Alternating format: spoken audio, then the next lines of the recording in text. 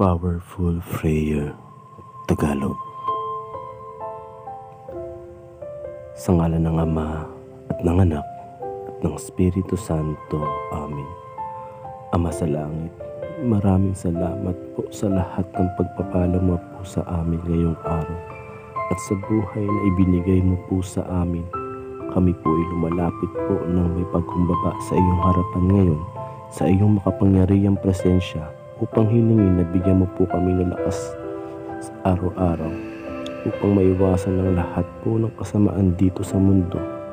Lagi mo po kaming samahan na maging aming mga mahal sa buhay, pamilya at kaibigan. Ituro mo po sa amin na lagi namin isabuhay ang iyong mga salita. Patawarin mo po kami sa aming mga kasalanan. Panginoong Isus, Ikaw ang aming buhay. Ikaw ang aming tagapagligtas. Kami ay maraming pagkukulang sa iyo, pero ang iyong pag-ibig ay hindi nagkulang para sa amin. Salamat po sa lahat. Naway alalahan mo po kami ng iyong banal na awat. Naway maghari po ang pag-ibig at papatawad. Magtitiwala kami at mahal ka namin. At alam namin na sa pamamagitan ng iyong kalooban ay hindi kami manghihina ngayon sa pangalan ni Jesus.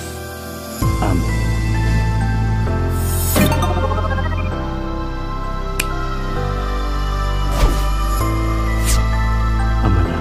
Sumasalangit ka, sambahin ang ngalan mo, mapasa amin ang karian mo.